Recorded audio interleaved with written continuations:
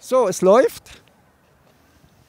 Also tatsächlich sagen die Professoren, und vielleicht beginnen wir mal gerade so, dass wir leider die Weltprobleme nicht lösen können, wenn wir nicht auch ein bisschen was über die Geschichte der Menschheit wissen.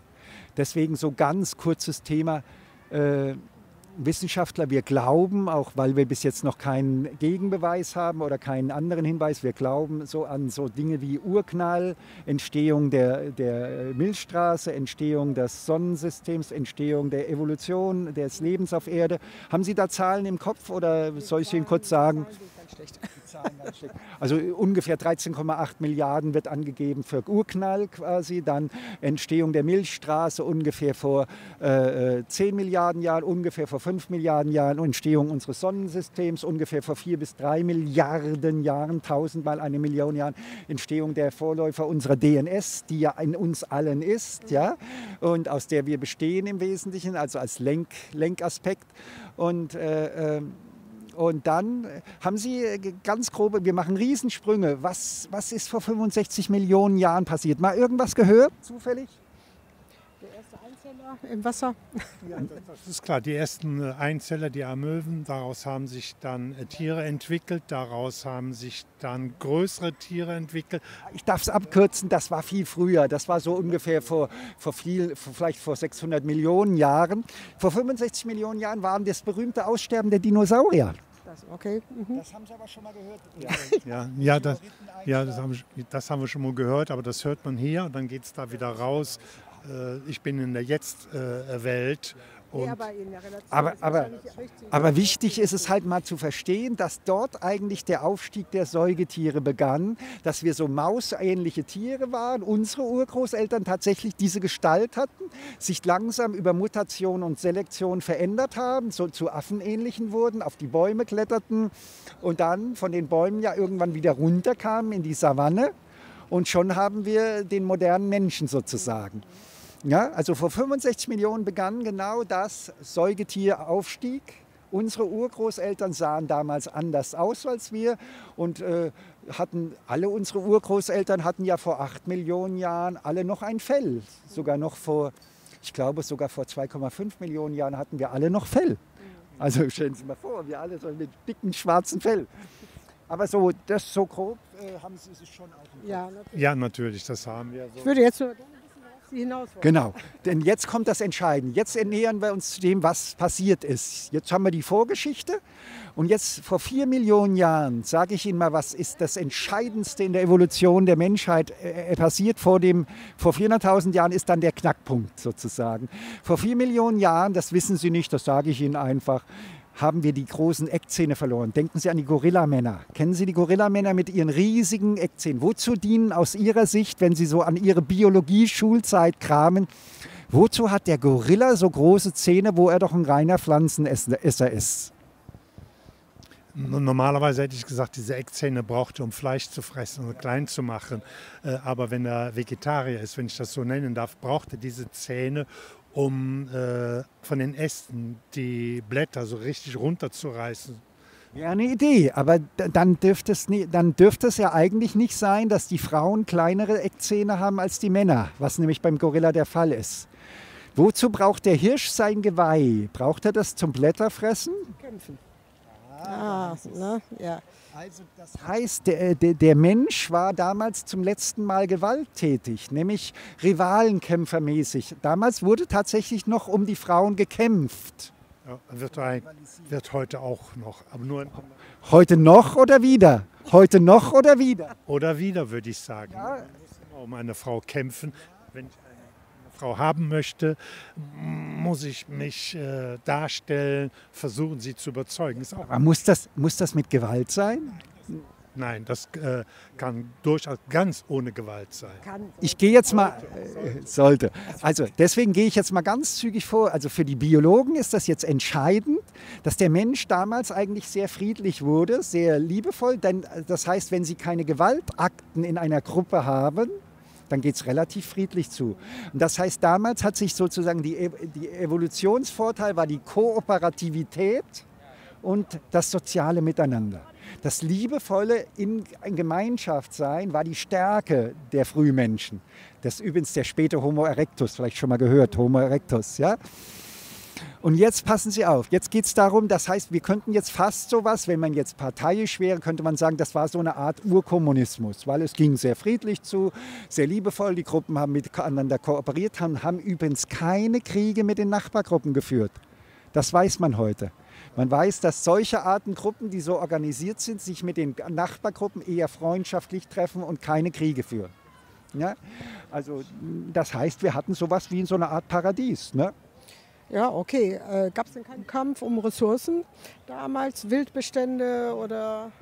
Die Frage ist, was können, wenn es mal irgendwo eine Nahrungsknappheit gibt, ist die tatsächlich besser lösbar mit ganz großer Kooperativität oder mit Krieg gegeneinander? Was ist die, eigentlich die Lösung? Wenn die eine Gruppe weniger Nahrung hat, dass die andere ihr etwas Leid und das dann später zurückbekommt, ist doch eigentlich die hochentwickeltere Lösungsform, als jetzt mit Waffen aufeinander loszugehen und erstmal die Hälfte der Leute schlagen sich gegenseitig tot. Ne? Das macht uns ja aus als Menschen gegenüber dem Tierreich, dass wir äh, aufgrund unseres Verstands die Möglichkeit haben. Unsere Erfahrung in der jetzigen Welt zeigt uns ja, dass das nicht der Fall ist. Und es ist immer wieder erschreckend, dass der Mensch eben zu Brutalität und Gewalt neigt. Ja, aber das, da kommen wir wieder zur Frage, wieder oder schon immer? Ja, also das ist die Schlüsselfrage. Wollten Sie noch was dazu? Ja, ich meine, das ist reine Theorie. Äh, selbst Jesus hat schon gesagt, wenn ich zwei Hemden habe und der hat keins, muss ich ihm eins abgeben. Aber das funktioniert nicht. Leider nicht. Es funktioniert nicht. Und jetzt sage ich Ihnen auch, jetzt kommen wir zu dem Punkt, wo ist, wo, warum funktioniert das nicht? Warum sind wir wieder eifersüchtig? Warum sind wir wieder gewalttätig? Warum sind wir so geworden? Es gibt nämlich zwei Möglichkeiten, wie wir so werden können. Wir können doch genetisch uns verändern oder wir können, memetisch heißt das wissenschaftliche Wort, also unsere Denkweise kann sich ändern und kriegsbereit werden. Ja? Also zum Beispiel denken Sie an den General Paul von der USA, der Irakkrieg. Mhm. Haben Sie doch bestimmt auch gehört. Der hat gesagt, da gibt es riesige Massenvernichtungswaffenlager. Es war eine Lüge, mhm. aber die hat die Menschen gestimmt gemacht, kriegsbereit zu werden. Also wir können auch Menschen manipulieren. Und jetzt kommt die entscheidende Frage. Vor 400.000 Jahren, zu Zeiten des späten Homo erectus, kam der erste Tauschhändler in die Welt. Und das versuchen wir jetzt mal ganz kurz zu verstehen. Was bedeutet es, dass der, zum ersten Mal in der Evolution Handel entsteht? Vor 400.000 Jahren. Ja, das wissen wir heute auch ziemlich genau, wann das war. Ja? Und jetzt hat der Händler plötzlich ein neues Interesse. Haben Sie eine Idee, in welchem Konflikt der steht, verglichen mit den Motivationslagen seiner Kunden? Haben Sie da eine Idee, was da für ein Konflikt entsteht? Ein, äh, der Konflikt äh, entsteht eigentlich nur darin, wenn er nicht tauschen kann. Wenn, äh, wenn er keine Waren gegen äh, Waren tauschen kann und sich dadurch eventuell bereichert. Und er kann sich doch dann. Ja, wollen Sie noch was sagen? Ich wollte sagen, es ist schwierig im Tauschhandel wahrscheinlich festzustellen, das Äquivalent zu finden. Wie viel ist. Ja. Aber ich sage Ihnen jetzt, ich sage, ich helfe Ihnen, ich helfe Ihnen. Die Professoren sehen den Grundkonflikt darin, dass der Händler ein gewaltiges Interesse daran hat, so viel wie möglich zu vertauschen, weil er nämlich davon lebt. Und das heißt, das heißt, für ihn wird das quasi alles, was dazu führt, dass die Menschen manipuliert werden in einen geistigen Zustand, aus dem sie bereit sind, mehr zu konsumieren, das wird er, sagen wir mal, insofern aufgreifen, weil es ihm Erfolg bringt und alles, was Erfolg bringt, wird er weiter tun. Ne? Und jetzt die Schlüsselfrage, haben Sie eine Vorstellung, wie er uns, wie der Händler uns manipulieren könnte, dass wir gestimmt werden, mehr, mehr zum Waffen zu kaufen und mehr Konsumgüter zu kaufen? Haben Sie da eine Idee? Ja, indem er uns weismachen will, dass ich das brauche, dass ich ohne diese Dinge nicht leben kann. Es gehört zum Leben. Das ist Werbung. Dann. Das ist die Werbung, ja. Wenn du das nicht kaufst, kannst du nicht richtig leben. Und noch ein anderer Mechanismus. Zu bauen, ne? ein Feindbild aufzubauen für, für Waffen eben. Ne? Merken Sie, dass das was anderes ist. Das eine ist Werbung und das andere ist, die Menschen gestimmt zu machen durch ein Feindbild, das die Menschen kriegsbereiter macht und deswegen den Kauf seiner Steinäxte vergrößert. Das heißt also, ein Feindbild aufbauen ist was anderes als nur Werbung machen. Das heißt nämlich, dass ich die Menschen manipuliere, über die Welt anders zu denken, als es realistisch ist. Und ich erkläre quasi die Nachbargruppen, die vorher immer friedlich waren, zu bösen, aggressiven Feinden. Und dadurch manipuliere ich die Menschen, meine Waffen zu kaufen und sie auch zu gebrauchen und zu, zu, zu konsumieren. Sehen Sie, dass das ein Riesenkonflikt ist? Ja?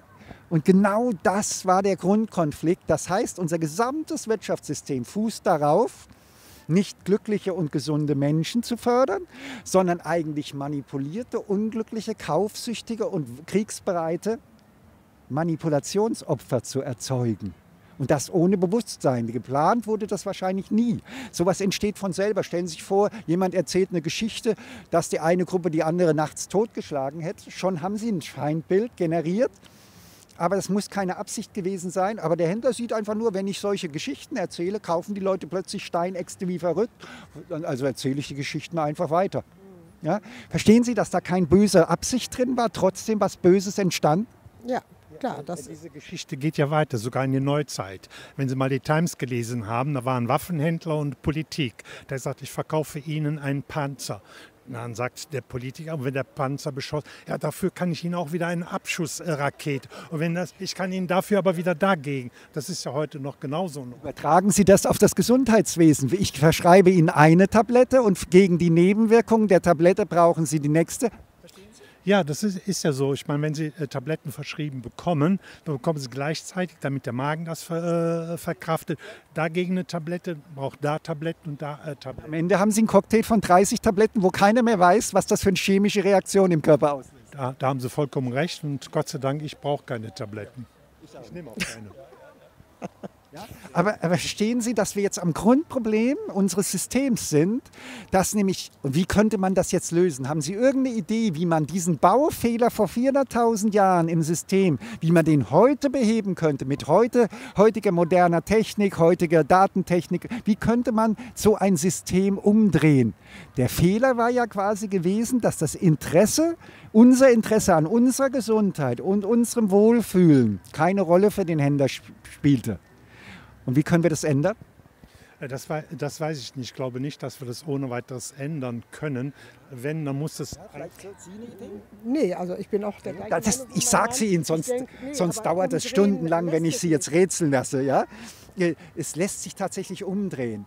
Zum Beispiel kann, kann man es so machen, dass mein Hausarzt ab in, in zwei Monaten quasi einen Stichtag hat. Ab dem Moment wird seine gesamte Honorarschlüssel umgedreht. Das heißt, er, es wird gemessen, die 2000 Leute, die er, die er betreut oder die sich ihn gewählt haben als Hausarzt, wird geguckt, je gesünder ich mich entwickle, desto mehr Honorar an den Arzt.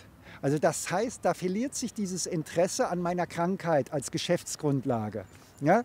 Also quasi, man könnte es so sagen, der Arzt lädt mich zu kostenlosen, spaßmachenden Gesundheits... Erstmal, erstmal kriegt er den ganzen Papierkram, den kann er sich sparen. Ja? Der, wird, die Ärzte beklagen sich ja, dass sie 50 Prozent ihrer Zeit an den Papierkrieg verlieren. Ja? Mhm. Der kommt weg. Ja?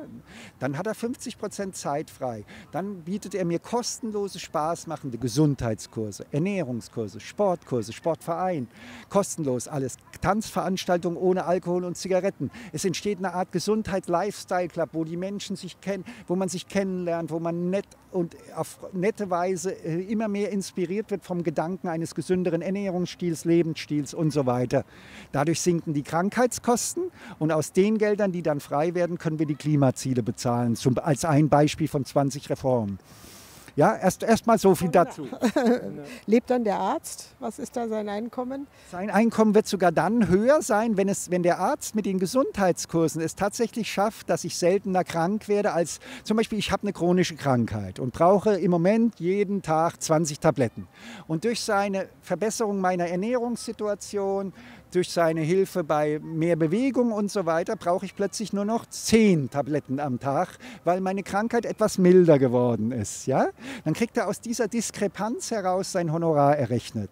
Also wenn er Menschen hilft, dass sie sich etwas Richtung Gesundheit entwickeln, gibt es fürstliche Prämien und diese Prämien sind sein einziges Honorar neben vielleicht einem kleinen Grundgehalt. Von, von den Krankenkassen oder wer bezahlt das? Mhm. Das ist wie in Amerika bei den Rechtsanwälten. Wenn sie gewinnen, kriegen sie ein Honorar. Wenn sie verlieren, kriegen sie nichts. Aber in diesem Falle wirklich, äh, bei Rechtsanwälten müsste ich drüber nachdenken, ob das logisch ist. Aber im Gesundheitswesen quasi, wenn, wenn es dem Arzt gelingt, Krankheiten zu verhindern, gibt es mehr Geld. Äh, wenn er Krankheiten nur verwaltet, gibt es etwas weniger Geld.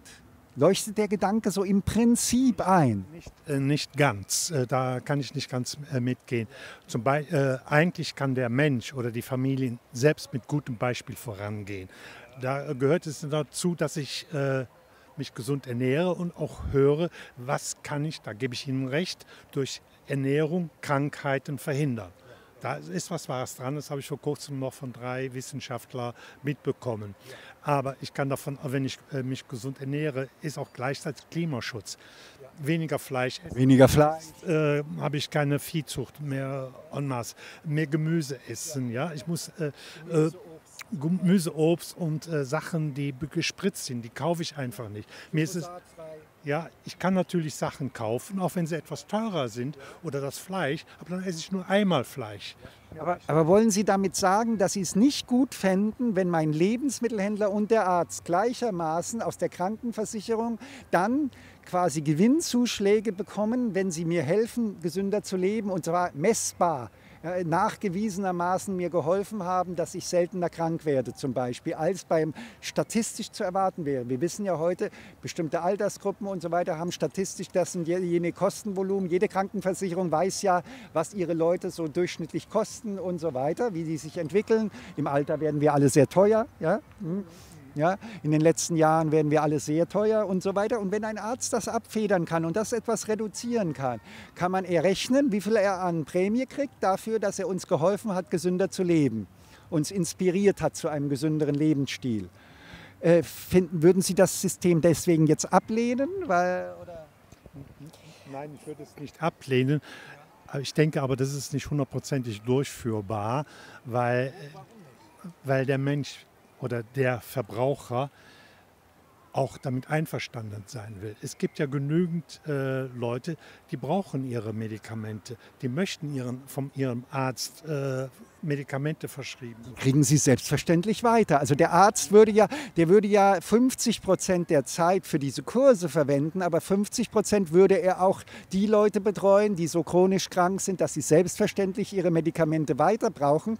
Nur trotzdem wird er auch den chronisch Kranken, stellen Sie sich vor, Sie haben chronisch Diabetes Kranken oder Sitzung Diabetes Kranken oder einen jungen Menschen, der Diabetes krank ist, aber 50 Kilo Übergewicht hat. Den wird er natürlich herzlich einladen zu seinen Ernährungskursen und den Sportkursen. Und wenn der dann von 50 Kilo 20 Kilo abspeckt und dann etwas weniger Insulin braucht, äh, dann würde der Arzt wieder eine entsprechende äh, Prämie bekommen für sein. Voraussetzung wäre dafür ja auch, äh, dass das Medizinstudium ganz anders ausgerichtet wäre. Wir haben natürlich Probleme damit. Ich sehe die Verantwortung für meine Gesundheit in der gleichen Weise, dass ich weiß, ich muss auf meine Ernährung achten, ich brauche Bewegung schon mal, ne, um grundsätzliche Voraussetzungen zu setzen. Geht man aber zum Arzt und sagt, ich habe hier eine Pein, dann sagt er auch nicht, ähm, ja, Massage wird Ihnen gut tun oder ein bisschen mehr Bewegung. Der hat sofort ein Präparat bei der Hand. Ne? Weil er nur dadurch Geld verdient. Deswegen wird er immer das, wenn ich Geld verdiene mit dem Verkauf von Hämmern, dann verkaufe ich halt Hämmer. Ne? Mhm. Ja, ja. ja das meine das mein ich ja damit. Der Patient oder der Mensch, der zum Arzt geht, der kann sagen, nein, ich will die Tabletten nicht, ich möchte alternativ behandelt werden. Ja. Aber, aber, ja. aber würden Sie das zum Gesetz für eine Gesellschaft machen? Also es geht ja jetzt darum, wir sind ja gerade dabei, das neue Deutschland zu konstruieren. Ja. Würden Sie Deutschland so konstruieren, dass wir alles so lassen, wie es ist? Auf keinen Fall. Ich kann nur, ich kann nur ein Beispiel, äh, Beispiel nennen. Äh, die Krankenkassen, wenn sie an der Bandscheibe operiert worden sind, dann machen, bekommen sie sechs äh, Massagen verschrieben. Aber dann wird hinterher nie mehr kontrolliert, ob sie weitermachen. Hier besteht für mich die Verpflichtung zu kontrollieren, dass der oder diejenige auch in diese Richtung durch Sport äh, die Sache gegensteuert, damit er gesund bleibt. Und da müssen die Unterstützung oder die finanziellen Unterstützung der Krankenkassen, die nicht gegeben sind, Anreize Aber, aber ja, aber da, das heißt, Sie, Sie reden von kontrollieren. Also äh, das, der Unterschied zwischen unseren Überlegungen ist jetzt, dass wir sagen, wir, wir kontrollieren den Arzt nur einmal am Endergebnis. Alles, was zwischendurch geschieht, was er macht, was er verschreibt, interessiert uns nicht mehr. Weil wir da nichts kontrollieren wollen. Wir wollen erstmal nur die Motivation schaffen, dass er weiß, wenn er Gesundheit fördert, kriegt er mehr Geld. Und das alleine, diese dieses eine Grundlinie, diese eine Kontrolle am Endergebnis, lenkt ihn in die richtige Richtung und wir überlassen es seinem Einfallsreichtum, was er für Wege geht. Ja, und Sie würden ja schon Das Details. Auch das Ziel des Arztes, setze ich mal voraus, ist ja immer, dass wir gesund werden. Nur die Wege dahin, die sind ja jetzt unterschiedlich. Sind Sie sicher, dass, äh, äh, also ich, ich mache äh, ich mach mal einen Punkt. Der, der Arzt und der Richter und der Lehrer und viele andere sp- versprechen in einem Eid, dass sie uns Gutes tun wollen. Genau. Glauben, äh, glauben Sie denn auch, dass er das tun kann, wenn er für das Gegenteil bezahlt wird? Kann ein Professor der Medizin, der operiert in einem Krankenhaus, sich dem Zug, Zugzwang seines Krankenhauses entziehen, das sagt, ich gebe dir eine tolle Prämie, wenn du jeden, der durch die Tür kommt, operierst, weil wir gerade das Geld brauchen, unabhängig davon, ob der Versicherte das, die Operation braucht, wir brauchen die Operation. Glauben Sie, dass er sich diesem Druck wirklich messbar entziehen kann und seinen Eid einhalten kann? Ähm, Ich sage nein. Er wird sich nicht entziehen, denn hier ist das äh, Finanzielle, das Krankenhaus aus seiner Arbeit äh, steht im Vordergrund. Ich kann hier nur ein Beispiel äh, nennen. Ich bin vor etlichen Jahren gestürzt. Äh, gehe zum Orthopäden, der sagt sofort Überweisung im Krankenhaus. Ich habe aber Gott sei Dank einen Orthopäden, äh, einen Befreundeten, der hat sich das angeguckt, sagte, pass auf, ich gebe dir äh, Übungen, wir machen zwei Jahre lang Übungen. Ich bin an der Operation vorbeigekommen. Der andere wollte nur Geld verdienen oder das heißt, es wird zu schnell Hüfte, zu oft äh, Knie. Ich habe mit dem Knie gesagt, nein, wir, wir probieren das erstmal peu à peu, dann sehen wir weiter. Da äh, der Arzt oder im Krankenhaus wird sich niemals entziehen. Also da sind wir uns dann doch einig, dass der Eid eine Sache ist, der wird einmal im Leben ausgesprochen, aber dann kommen lauter finanzielle Anreize und jetzt kommt was ganz Entscheidendes, dass wir jetzt wieder ein bisschen zurückgehen in der Zeit, denn äh, die Professoren sagen, wir haben Hinweise, dass die ersten Vorläufer der Ärzte, Schamanen, schon 170.000 Jahre Geschichte haben könnten. 170.000 Jahre, vielleicht die ersten Schamanen der Evolution. Ja? Und äh, dass da eben quasi sich Folgendes passierte. Wenn ich einen Irrtum im Kopf hatte, dass dieser und jener Kräutersud tatsächlich Gesundheit fördern würde, das ist ein Irrtum. Denn der, in Wirklichkeit hat dieser Kräutersud vielleicht bestimmte Symptome unterdrückt, aber nicht die Ursache behoben zum Beispiel. Ja? Dann ist es aber so, dass diese Überzeugung, diese irrige Überzeugung, dieser Irrtum ja zu Einnahmen führt, weil wenn ich den Kräutersud gebe, ist erstmal der Patient zufrieden, weil seine Schmerzen kurzfristig nachlassen. Da aber die Ursache nicht behoben ist, steigt die Wahrscheinlichkeit, dass er mich nochmal braucht und mich wieder aufsucht. Und dann entstehen sozusagen Ketten an Irrtümern, die am Ende dazu führen, dass der heutige Arzt sagt, wenn Sie Krebs haben, das hat nichts mit Ihrer Ernährung zu tun, essen Sie einfach, was Ihnen schmeckt und kümmern Sie sich weder um Sport noch um Bewegung. Dabei wissen wir heute, dass manche Krebstumore, Brustkrebstumore sehr gut ansprechen auf Joggen weil dann die Durchblutung im Brustgewebe stark verstärkt wird und dann das Immunsystem eine stärkere Angriffsfläche hat. Und dann zum Beispiel, aber das würde Ihnen ein Arzt niemals sagen, weil er gelernt hat, alle seine Irrtümer gelernt hat, die zuverlässig Geld bringen und Medikamentenverschreibungen zur Folge haben. Aber weil er eben den Eid gar nicht einhalten kann, er will ihn bewusst einhalten. Jeder Arzt will den Eid einhalten. Aber er, er entwickelt, äh, die, in der Evolution haben sich 170.000 Jahre Gedankensysteme gebildet, die einen Kompromiss aus helfen und Gewinn machen. Ja, also so eine Art finanziell äh, den Arzt haben wir auch überleben lassen. Denn er braucht ja dau möglichst Dauerkunden. Ein Arzt braucht möglichst viele chronisch Kranke. Leuchtet das ein, dass das also das Grundproblem des Ganzen ist? Ja, für mich sind es aber auch viel die wissenschaftlichen Irrtümer. Wenn ich da jetzt mal auf Ihre Vollkommen richtig. Ich, wir sprechen, Domäne komme, 90 Prozent der Wissenschaft sind Ja, ja, ganz genau. Oder auch voller Irrtümer. Ne? Man liegt eine Untersuchung. gekauft durch Industrie. Oder äh, Wirtschaft, äh, Wirkung von Kaffee und nach zehn Jahren liegt man genau den Gegenteil. Weil, weil vielleicht eine andere Industrie diesmal die Studien gekauft Ja, genau. Es hängt davon ab, ne, wer, ja klar, der Auftraggeber ist, der versucht im Sinne seines Das Brot ich esse, das sieht ich Ja, ja, ja, das ist schwierig. Ne? Auf der anderen Seite, also das ist ähm, ein Problem der Wissenschaft überhaupt äh, und das ist wahrscheinlich für einen Arzt genauso schwierig wie für uns. Da, er versucht nach gutem Gewissen und Gewissen darauf einzugehen. Ich denke, er wird auch weiter Fachzeitschriften lesen. Aber er weiß nicht, mit welchen Irrtümern er aus der Wissenschaft gefüttert worden ist. Ganz genau. Das ist nur menschlich. Ne? Der ist ja auch nur Mensch letztendlich, der Arzt. Ne? Auf der anderen Seite bedeutet es auch immer, und das liest man jetzt in der Auseinandersetzung mit der Homöopathie, alles, was nicht wissenschaftlich bewiesen ist, streng wissenschaftlich bewiesen ist, nützt dem Menschen nichts. Ne? Und viele Menschen haben eben andere Erfahrungen gemacht, aber die haben dann Probleme mit diesen angeblich doch verträglicheren äh, Mitteln. Auch Können Sie übrigens den Unterschied zwischen echten Wissenschaftlern und Pseudowissenschaftlern vielleicht nachvollziehen, dass wir nämlich diese Professoren sagen, hoppla, es spricht ganz vieles dafür, dass Menschen die Homöopathie nehmen, eine positivere Gesundheitsentwicklung nehmen, als die, die aggressive Chemotherapeutika bekommen und die dann schwer unter den Nebenwirkungen leiden und so weiter. Und dass wir deswegen eigentlich, auch wenn tatsächlich die Homöopathie nur ein Placebo ist, an das die Leute glauben, aber dann ist es trotzdem positiv, während der Mediziner, der Geld machen will, der sagt nur, es ist nicht bewiesen, also weg damit. Ja? Und so ist der Unterschied zwischen echten Wissenschaftlern, die differenzieren, die gucken, dass Homöopathie im Wesentlichen aus dem Weglassen von Noxen besteht, also von schädlichen Substanzen. Und gerade darin, dass sie, dass sie quasi die Selbstheilungskräfte nicht stört, darin liegt die Stärke der Homöopathie. Ja? Das kann aber nur ein echter Wissenschaftler erkennen und nicht jemand, der Geld machen will. ja, das ist richtig. Mhm.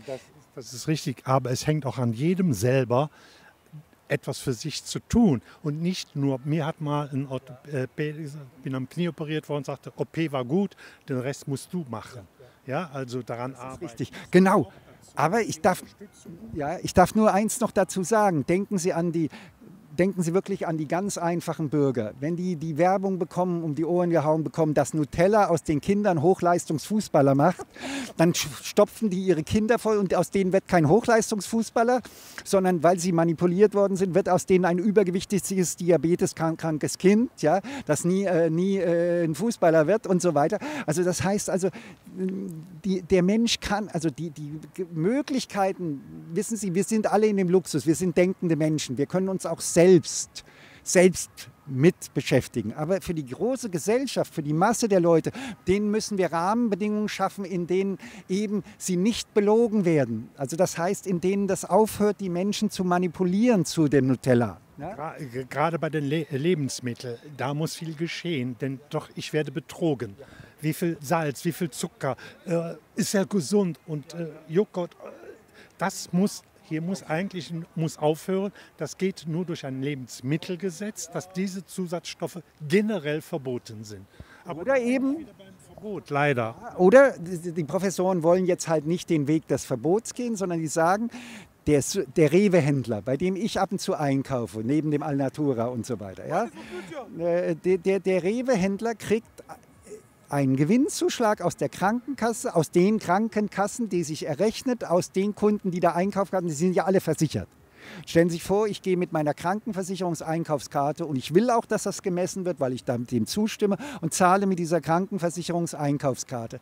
Dann lässt sich statistisch auswerten, was der Rewe mir, was er mir nahegebracht hat, wozu mich der Markt als Anreizsituation. Wir wollen, dass der Markt dann vielleicht in so einen Gemüse- und Obstmarkt umgewandelt wird, wo die Leute sich setzen können, kosten können und so weiter. Also der Händler verführt uns zu gesünderer Ernährung.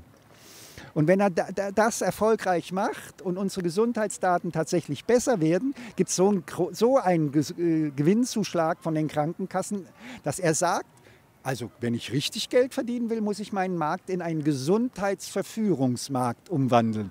Ja? In anderen Worten wird natürlich Rewe dann auch manipuliert. Ne? Da wird alles manipuliert, äh, ob ich da oder da beeinflusst. Diese Belohnung, Anreize sind natürlich auch eine Form der Beeinflussung. Aber viel schlimmer ist es doch, wenn ich mir die Produkte angucke. Selbst äh, die da, äh, wissen das gar nicht. Das ist alles so klein geschrieben. Dann ist da Plastilin, dann ist da das drin. Ich weiß das ja alles gar nicht. Der Rewe kann doch dann auch sagen, bestimmte Produkte, in denen massenhaft Zucker drin ist, lasse ich in Zukunft dann nicht mehr in meinen Laden rein, wenn ich entschädigt bin durch diese Gewinnzuschläge aus der Krankenversicherung. Wenn die größer sind als mein Profit vorher mit dieser Zuckerware, dann nehme ich die einfach aus meinem Sortiment. Kann ich doch machen. Ich habe doch als Händler die Macht. Ja, die Macht haben die ja schon, äh, beginnen ja schon. Es sind ja schon äh, Produkte auf dem Markt, weniger Zucker steht ja drin. Äh, aber trotzdem. Ist das nicht nur Alibi? Ich glaube zum großen Teil ja. Ich kann ja, Fett, äh, ich kann ja fettarme Margarine, Butter hat sich ja als großer Betrug rausgestellt. Weil da nur mit Wasser, äh, teures Wasser gibt es nirgendwo als in der Die Leute essen von den Fettmarmen doppelt so viel, da haben sie wieder mehr Fett im Körper und mehr Zucker. Vor allem, vor allem mehr Zucker, weil der Zucker wurde, mit das Fett wurde dann mit Zucker ersetzt und dadurch wurden die Leute doch schneller kränker. Was, äh, also ich komme jetzt, weil ich will ja zum Schluss auch kommen, dieser Grundgedanke, unser gesamtes Wirtschaftssystem auszurichten an meinen Wohlfühlnoten und meinen Gesundheitsdaten, sodass dann Wirtschaft nur noch Gewinne machen kann, wenn sie messbar Gesundheit und Lebensqualität der Bevölkerung und der einzelnen Kunden verbessert haben, bewiesenermaßen. Finden Sie den Gedanken eher gut oder eher schlecht? Ja, das ist er. Nee, schwierig gar nicht. Ich meine, was soll man da anderes als äh, grundsätzlich Ja sagen? Ja. Nur die Umsetzung. Ne? Ich ja. meine, äh, wie die Geschichte der Menschheit schon gezeigt hat, es gibt nicht das absolute Paradies, das werden wir nie erreichen. Ja. Äh, Politik und. Wir sprechen ganz bewusst nur von fast Paradies. Immer ähm, Kompromisse. Ne? Und ich bin keine, für keinen revolutionären Umsturz. Dass die Tendenz in diese Richtung geht, ist vollkommen klar. Wäre wünschenswert. Ne? Wir also ich, 70 Jahre auf dem Buckel. Um es abzukürzen, um es abzukürzen äh, äh, gehe ich jetzt mal vom Endergebnis raus. Wissen Sie, was wir uns wünschen, als was die Professoren sich wünschen? Dass hier jetzt gerade eine Pressekonferenz wäre, hier stände Greta Thunberg, da vielleicht Frau Merkel und dann diese ganzen Massen an Journalisten, die so in den USA gerade um Greta Thunberg rumtüren, die wären alle hier. Und Greta würde nur einen Satz sagen. Ich verstehe es nicht so ganz. I don't understand it totally. Oder ich verstehe es nicht so ganz. Aber ich habe so den Eindruck, es könnte sein, dass dieses Angebot 900 Milliarden fürs Klima und Kohlestopp 26, dass die, diese Umgestaltung der Gesellschaft durch das dritte Gesellschaftssystem, ja, dieser sanfte Wandel unserer Gesellschaft, dass der vielleicht uns allen die das bringen könnte, was wir uns wünschen. Und wir sollten einfach mal weltweit in jeder Talkshow kontrovers darüber diskutieren, ob sich eine Mehrheit herausbildet, dass vielleicht dieses dritte System der zweiten Scientists for Future vielleicht als Lösungsweg gesehen wird. Und da könnte ich mir vorstellen, dass wirklich sehr schnell etwas geschieht. Denn das ist das Ganze. Greta hat den ganzen Diskussionsprozess unendlich beschleunigt. Mhm, mh. Äh, das ist richtig, aber ich komme wieder äh, darauf, äh, darauf zurück. Viele Leute sagen, wir müssen was für den Umweltschutz tun. Dann sind sie zu Hause, dann werden die Kinder im Suff eingeladen, zum Kindergarten gefahren, zum Fußball gefahren, dahin gefahren. Ich erlebe es selber, wenn ich Samstag, Sonntags Brötchen hole mit dem Fahrrad. Da sind Leute, die kommen im Auto, die haben nur fünf Minuten zu Fuß. Da fängt es damit an, alle möchten Klimaschutz, aber wenige halten sich dran. Da kommen wir, da kommen wir vielleicht zu dem Extra-Thema Konsumsucht. Ja? Also zum Beispiel viele Menschen wollen Klima schützen, sind aber in ihrem Alltag so frustriert, dass sie sagen, ich reise jetzt billig nach Mallorca mit dem Flieger und knall mir die Hucke mit Alkohol zu. Ja? Und das empfinden die tatsächlich so als ein Abschalten von diesem frustrierenden Leben hier. Denen muss man dann Flugscham beibringen. Ja, aber es geht auch anders. Es geht vielleicht ohne Flugscham, nämlich die stellen sich vor, in diesen liebevollen ärztlichen Health Clubs, ja, finden die Menschen wieder zueinander, finden Liebespartner, es finden sich vielleicht sogar mehr Generationen Wohngemeinschaftspartner, die zusammenziehen wollen und so weiter. Und es entsteht so ein Sozialleben und die Menschen sind dann eben nicht mehr so frustriert, so vereinsamt und so, ja, und so frustriert, wie viele Menschen ja in unserer Gesellschaft sind dann äh, äh, würde es ja quasi darauf hinauslaufen, dass sie dann eben diese Reise nach Mallorca nicht mehr brauchen, um ihr seelisches Gleichgewicht zu finden. Und das heißt also Konsumsucht reduzieren durch eine gesündere Gesellschaftsordnung. Das heißt auch diese, diese, dieses Hängen an bestimmten, an Zigaretten. Beispiel. Ich könnte Ihnen jetzt die Zigarette verbieten, dann würden Sie vielleicht stinksauer werden. Ja? Wir brauchen ja nicht. Ja, äh, genau. Aber, ja, also ich schließe ab mit der Frage, da wir jetzt langsam, glaube ich, geht es jetzt los? Schlussfrage. War es für Sie interessant, mal über das dritte System der zweiten Scientist for Future nachzudenken und halten Sie es für sinnvoll, dass darüber überall kontrovers diskutiert wird oder wie sehen Sie das? Ja, das auf jeden Fall. Also Diskussion ist auf jeden Fall förderlich, auch seinen eigenen Horizont äh, zu erweitern, seine eigene Argumentation auch zu überprüfen. Ähm, ja, und sich daran auszurichten oder die nächsten Schritte dann ja. zu überlegen, wie wäre das umsetzbar. Genau, wie wäre es umsetzbar und es dann auch auf den Weg bringen hundertprozentig. Ich muss klein anfangen, aber das wächst sich dann immer weiter heraus. Aber das ist doch eine gute Nachricht abschließend, dass wir, dass wir damit vielleicht eine Chance haben, die zwar kompliziert ist, weil wir haben jetzt lange darüber gesprochen, aber die vielleicht doch die Chance ist, dass wir wirklich ein besseres Gesellschaftssystem bekommen könnten. Ist doch was. Das ist auf jeden Fall immer positiv, wenn man darauf hinarbeitet. Das ist richtig. Ich meine, äh, das wäre ganz toll, dass man mit allen sprechen kann. Und, äh, Im Moment hat man bei dem Thema eine breite Basis und da sehe ich eben die Chance da drin, vielleicht doch mal etwas äh, zu bewegen. 30, 40 Jahre lang ist ja in Deutschland nichts, nichts passiert. passiert ne? ja. Jetzt hätten wir die Chance mit Kreta und mit dem Zufall, dass die Professoren gerade so weit waren, zeitgleich, mhm. hätten wir jetzt eine Riesenchance. Also ich hoffe, diskutieren Sie einfach darüber. Ich sage Ihnen gleich noch, wo Sie alles finden. Okay, danke Ihnen. Danke.